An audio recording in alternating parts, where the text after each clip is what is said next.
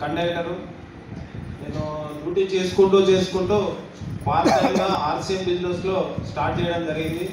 గత నాలుగు సంవత్సరాల నుంచి నేను డ్యూటీ చేసుకుంటూ నా డ్యూటీ అయిపోయిన తర్వాత ఒక రెండు గంటలు ప్రతిరోజు రెండు ఫ్యామిలీలు ఇంటికి వెళ్ళి నేను ఆర్సీఎం బిజినెస్ కోసం చెప్పడం జరిగింది.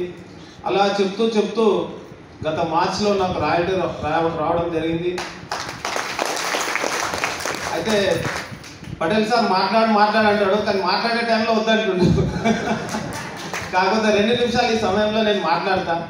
ఎందుకంటే నేను ఇలాగే మీటింగ్కి వచ్చి ఏదో ఒక రోజు నాకు కూడా ఈరోజు ఈ స్టేజ్లో మాట్లాడాలన్న ఉత్సాహం ఆ కసితోటి నేను పని చేయడం జరిగింది ఈరోజు నాకు మార్చిలో అంటే కరోనా టైంలో నాకు రాయల్టీ వచ్చింది. మరి ఎప్పుడు స్టేజ్ మీద పిలుస్తారో ఎప్పుడు మాట్లాడాలంటే మొత్తం కరోనా తర్వాత ఎప్పుడు మీటింగ్ పెట్టలేదు. ఈ రోజే పెట్టడం జరిగింది. అంటే మనకి ఈ మధ్యకాలంలో ఈ ప్రత్యక్షంగా మీటింగ్లు జరగలేదు. కానీ ఈరోజు జరిగింది. ఐఎమ్ సో హ్యాపీ చాలా సంతోషము. నేను జాయిన్ అయిన తర్వాత మీటింగ్ అయిన తర్వాత మొత్తం ఆలస్యం ఓకే అనుకున్నా. కానీ ఏంటంటే ఒకటి ఒక రెండు నిమిషాలు మాట్లాడతా సార్ ప్లీజ్ అయితే ఈ మీటింగ్ వినగానే మనం సక్సెస్ కాదు. మన యొక్క అప్లైన్ ఎలా చెప్తాడో ఆ విధంగా మనం చేయాలి. Great upline. Dilip Kulkarni sir and Dharmendra Patel sir Lakshman ji ఇంకా వీళ్ళందరి సహకారంతో మళ్ళీ కృష్ణ సార్ మళ్ళీ దాచర్ పోచే సార్ వీళ్ళందరి సహకారంతో నేను ఈ స్టేజ్ వరకు వచ్చాను.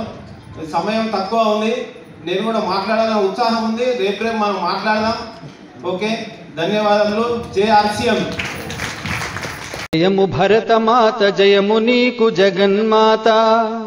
ఈ జగాన సాటి ఎవ్వరే ఓయమ్మ నీకు జయము జయము భరతమాత జయము నీకు జగన్మాత. ఈ జగాన సాటి ఎవ్వరే ఓయమ్మ నీకు గంగ యమున గోదారి సింధు కృష్ణ కావేరి. బ్రహ్మపుత్ర తుంగభద్ర తపతి నర్మద పెన్నా. పొంగి పొరలె తరంగాలు నీ మెడలో హారాలు.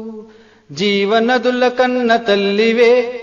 ఓయమ్మ నీవు జయము జయము భరతమాత జయము నీకు జగన్మాత.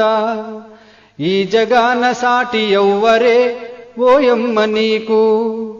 హిమ వింధ్యా పర్వతాలు దేవతలకు నిలయాలు. దట్టమైన అరణ్యాలు మహామునుల స్థావరాలు. పసిడి పంట క్షేత్రాలు పంచలోహ ఖనిజాలు.